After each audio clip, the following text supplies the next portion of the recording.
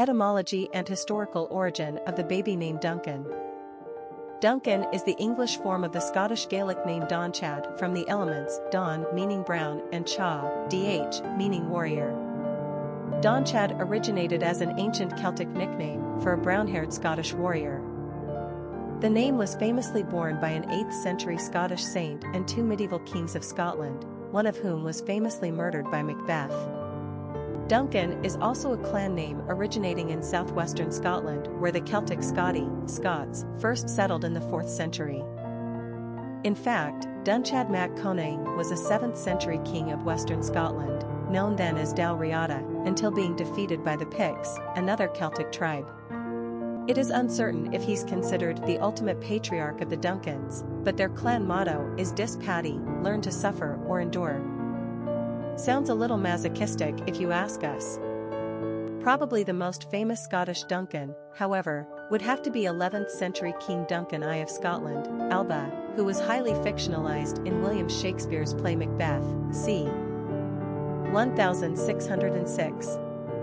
In essence, the Real King Duncan had a relatively uneventful and short-lived reign, although he was indeed murdered by Macbeth who would then assume the high throne of the Scots after him. King Duncan II of Scotland was Duncan I's grandson by his elder son Malcolm III. Although he reigned only briefly, seven months, his story is interesting as well, see historical references below. Duncan is one of those super Scottish male names along the lines of Malcolm, Colin, Bruce, Kenneth, and Donald. Ironically, though, it's really not that common in Scotland anymore. Personality of the boy named Duncan. The three energy is powerful and enthusiastic. These personalities are cheerful, full of self-expression, and often quite emotional. They have an artistic flair and gift of gab that makes them natural entertainers. Their joyfulness bubbles over, and their infectious exuberance draws a crowd. The three personality is like a child, forever young and full of delight. They are charming, witty, and generally happy people. The three personality lives in the now and has a spontaneous nature. Three seem to live with a bright and seemingly unbreakable aura that attracts others to them. In turn, they are deeply loyal and loving to their friends and family. Luck also has a tendency to favor number threes. Popularity of the boy named Duncan. Duncan has managed to achieve regular, yet sporadic, usage since the 19th century. Most likely back then the name was primarily used among Scottish immigrants. As we turned into the 20th century, Duncan was bestowed on baby boys with only the lightest of moderation. The name became pretty unpopular by the late 1970s and came awfully close to falling off the charts altogether. Fortunately, this little Scottish charmer reversed his course on the charts and would achieve his peak popularity in the late 1990s at position number 377 on the top 1000 list, 1997.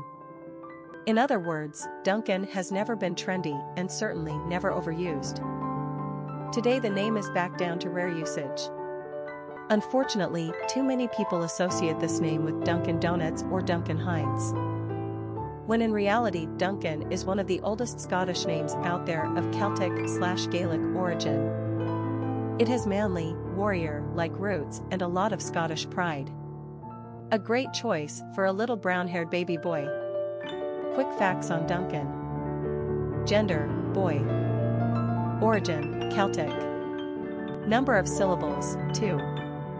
Ranking popularity, 821. Pronunciation, D-U-N-K-N. Simple meaning, brown warrior. Characteristics of Duncan. Social, dramatic, popular, happy, communicative, optimistic, creative. Cultural references to the baby name, Duncan. Literary characters of the baby name Duncan. Macbeth, King Duncan is the first victim of the merciless husband and wife team in William Shakespeare's tragedy, Macbeth, believed to have been written between 1603 and 1607, and superstitiously referred to in the theatre as the Scottish play. Although based upon an historical figure, Shakespeare fictionalizes our Duncan, the King of Scotland, into a fair and kindly ruler who has one fatal flaw, he is unable to distinguish among those who are true to him and those who are not.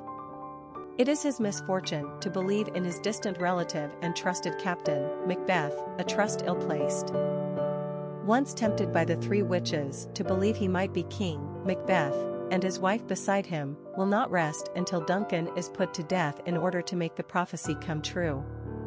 Even more dastardly is the fact that Macbeth kills Duncan while the king is visiting his household in order to praise him for his successes in battle. The gracious and unsuspecting Duncan is led to the chambers of hospitality that become chambers of horror. With the benevolent king's death, anarchy reigns and more and more blood is shed in order to stabilize Macbeth's rule. It is not until Duncan's son, Malcolm, regains the throne that the order and peace that were Duncan's legacy are restored. In the meantime, we may be sure that the death knell that told summoned Duncan not to hell, but heaven. Popular songs on Duncan.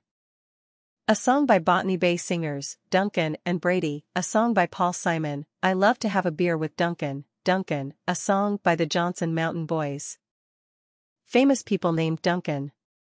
Duncan Sheik, singer, songwriter, and musician, Duncan Hines, namesake of food products, Duncan James, English singer, Duncan I, 11th century King of Scotland, Duncan Keith, hockey player, Duncan Ferguson, Scottish footballer, Duncan, II, 11th century King of Scotland.